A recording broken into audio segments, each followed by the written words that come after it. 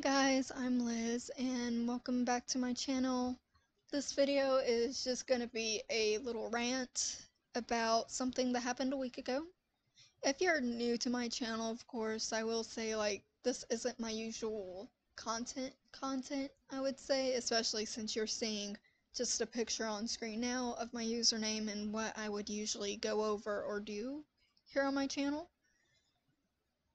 However, I just wanted to get this out. I know I'm a, practically a week late to it, but this is regarding Myka Stauffer, or Myka and James Stauffer, both of them, since they're both involved with it, but particularly towards Myka. Now, if you haven't heard about this situation, Myka Stauffer is one of those family channel YouTubers here on the YouTube platform and has about 700k approximately, maybe a tad more subscribers. And as of May 2016, her and her husband already talked about adopting a kid with special needs and so forth and so on. Let alone already getting information like, hey, it's going to be a very serious process when raising this child. Because come to find out, they're, this child, Huxley, is his name, is a nonverbal child on the autistic spectrum or autism spectrum. And approximately with that, she did gain subscribers for her adoption process type videos, which if people make those kinds of videos, I think it's good to get like information out there as far as that, but you could tell that sometimes this is used for views a lot of the time. And that bothers me. I'll get more into like YouTube in general, but it's just something that I'm adamantly against. On any platform is to use your child for clout, especially since you already have people on platforms like Instagram and TikTok using their young teenage girls for sexualizing them for sponsors and stuff like that, let alone family channels just using their kids being upset or even prank videos or whatever. It just doesn't sit with me in a right way at all. It continues that sour feeling all around. Anywho,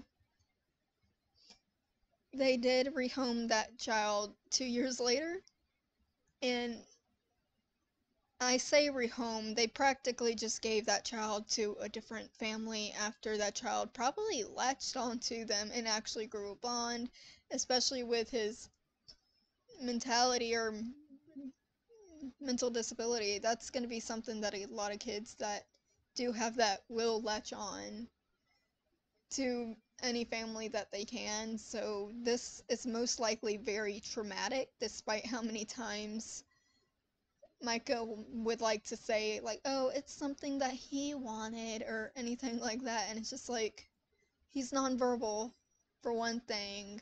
Sure, you could probably read emotions, but for the most part, we don't really know what's going on in their head, especially as someone who takes care of someone with Down syndrome and my cousins having my second cousin having both autism and downs and that's like very low on the spectrum. And it's just it's a handful to deal with. Like i'm going to be straightforward. It is a handful to deal with especially i'm going to use my uncle for example since i've been helping out with him for years now. Since my parents had to work a lot. And that really just like caused me to grow up fast in a sense. It's just like there are times where it is very difficult to take care of him and I'm kind of glad that we're finally in a place now where we're getting somewhere where he can go out and be with people who are like him. I guess is the best way to put it. Other people with Down syndrome or other mental disabilities and actually get out and do stuff like activities like let's say go bowling or anything of that sort of thing, which is something that he definitely needs in his life, especially since my grandfather, before he passed, he technically secluded Vince a lot, and Vince is my uncle's name. And really, it was a whole skew of things, let alone Vince having seizure episodes, which can be very scary to deal with. But I still love him nevertheless. But it's just like seeing how these people are just using that kid's like they literally just ignored what those doctors were saying like hey this is something serious that he has. Are you sure you're going to be able to take care of this kid? And now you have it where they literally give this kid up. And that really rubs me the wrong way. Like i feel sick from it. Like physically sick because already know like as far as for all I know I could have a child that has autism and that would probably scare me but at the same time I wouldn't think for a second to like give that kid up just because of existing health conditions that they will have. That just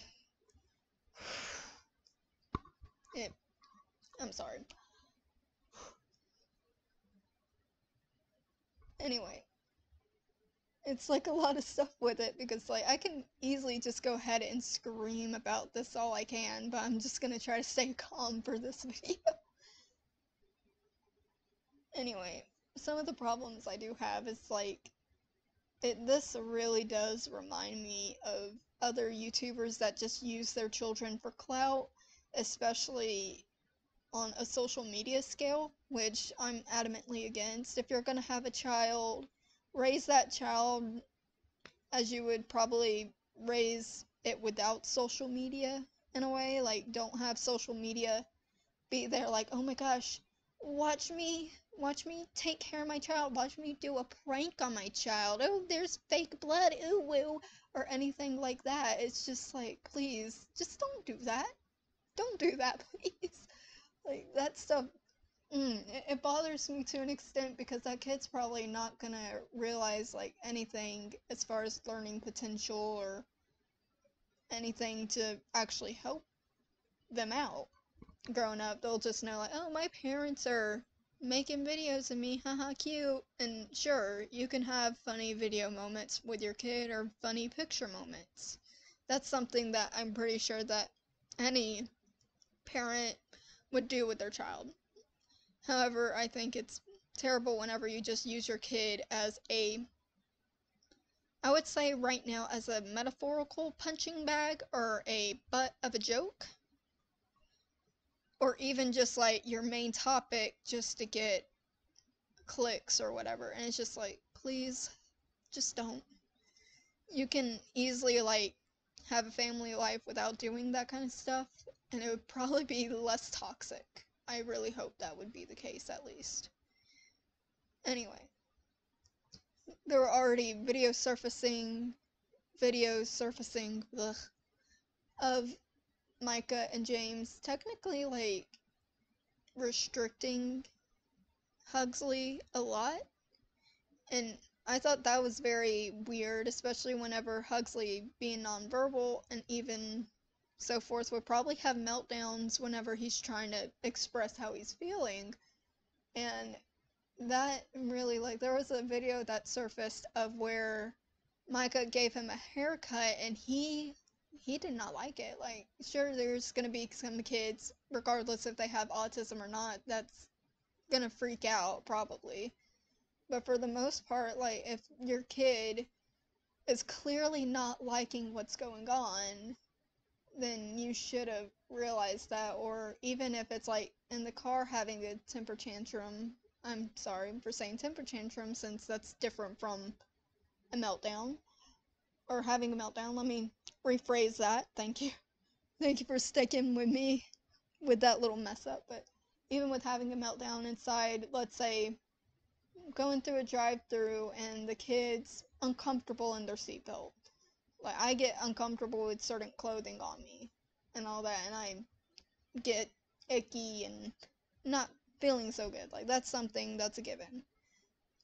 But it's just kind of like if you think about like a kid who's trying to express that feeling, they're going to be upset, especially if they're not being pretty much heard in a sense. If that makes any sense. I'm pretty sure it does, but it's I don't know why people think this is a good idea. Like if your heart was already in the place to wanna adopt a child with special needs, then you really should as the person who is adopting or as a potential parent would know, hey, this child's going to have something that I need to do in order to help that kid.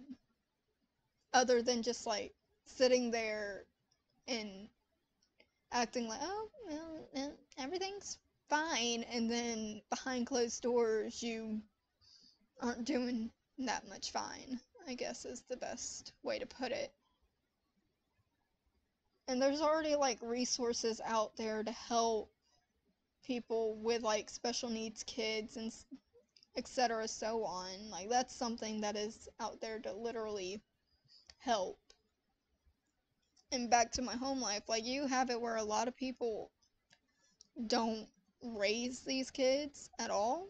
Like that's an issue that i have adamantly seen around here. Like especially i'm going to use family drama, I guess, as an example.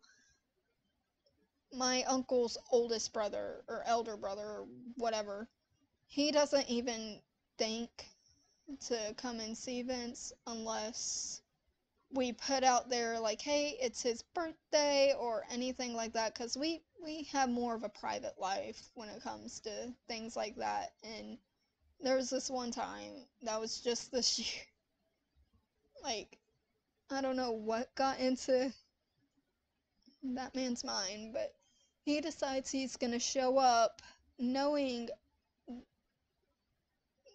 adamantly like just knowing that my parents aren't home for one thing. Like they're not here they're at work they're essential workers we're supposed to be quarantined you're a police officer y- you should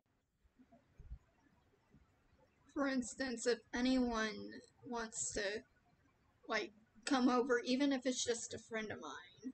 We have to have it where it's already planned out a bit, at least, at the very least, a couple of days ahead, if not a month. Like, that is just a given because we get really busy with doctor's appointments and so forth and so on, especially both of my parents are essential workers. They wouldn't be able to be here if anything happens unless it's in a dire emergency situation. And I understand, like, I am 18, I can literally just tell my uncle, yeah, yeah, you can come in, like, I have the authority to do that. However, what I did not appreciate is how he shown up unannounced, like, as soon as, like, I think it was like 12, May. No, I wouldn't say 12. It was probably like 1 or 2 o'clock, he calls me while I'm just like doing my own thing, cleaning up around the house and all that good stuff. And it's like, oh, is your mom home? No. Well, are, are you and Vance home? Yeah, do, do you need something? Oh, I was just coming over to see Vance. I, I'm sorry, I can't let you. Like, that was literally how the conversation went because it's just like, I'm personally like based on my parents' authority over me. I, I can't let anyone in the house unless we already have something planned with that person. That's just a given, and I understand that probably sounds kind of crazy, but it's just like you can't just come over to someone's house during the time when we're supposed to be in quarantine and think that you have the right to come in and he hung hangs up with me and then calls my mom and I'm like I just went ahead and texted her what happened. It was just kind of like she tells me like, "Yeah, he's calling me right now. I'm just gonna let it go to voicemail. Like whatever. Like don't care. Don't need to." About a couple of days later, maybe about a week, he texts my mom about like what happened, and my mom's like, "Well, he had to talk with my dad, his name, whatever, about that. Yeah, to talk with my husband about that. There we go. That's a better way to say it. And he's like, oh, I don't have to talk to him about anything. Vince is my brother. Okay, where were you whenever Grandpa died? Where were you when he died? Where were you to actually want to take care of Vince in the first place? Where were you whenever we already had it set up like, hey, do you want to come and like take him out to go see wrestling so y'all can spend time together? No, y- you didn't do crap. You didn't do absolutely nothing. Like, I'm sorry for the poor grammar there, but it, he didn't do crap. Let's put it bluntly like that. And he thinks like he can come in here and have more authority than my own dad or my own mom when we have the legal guardianship over Vince in the first place. Let me put that straightforward. We have the legal guardianship over him and so forth and so on.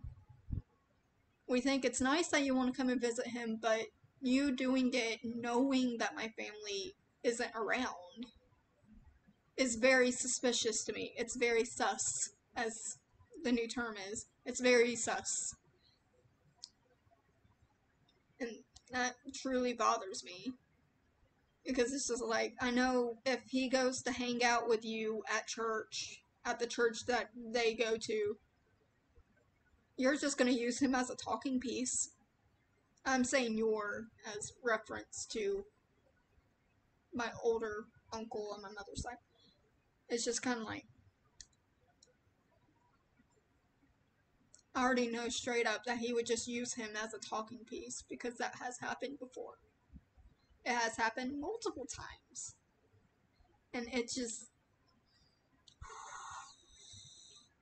It kind of reminds me of this situation here where this kid was technically just being used for views. Like, that's all it is. Being used, like, oh, here's my sympathy points. I'm such a good person. Stuff like that. And it's just. It it frustrates me so much. I'm sorry that this rant took a while, and I know it's going into detail with what's going on, but it's just like.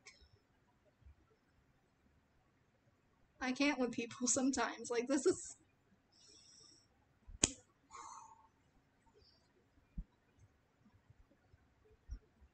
Sorry. Okay. I know those few seconds are kind of awkward. But anyway, it's. I think I'm done here for now. Like, you kind of get the gist of it, I hope, as a viewer. Anyway, I hope y'all have a good day, and I'll see y'all next time, I suppose. Um, take care.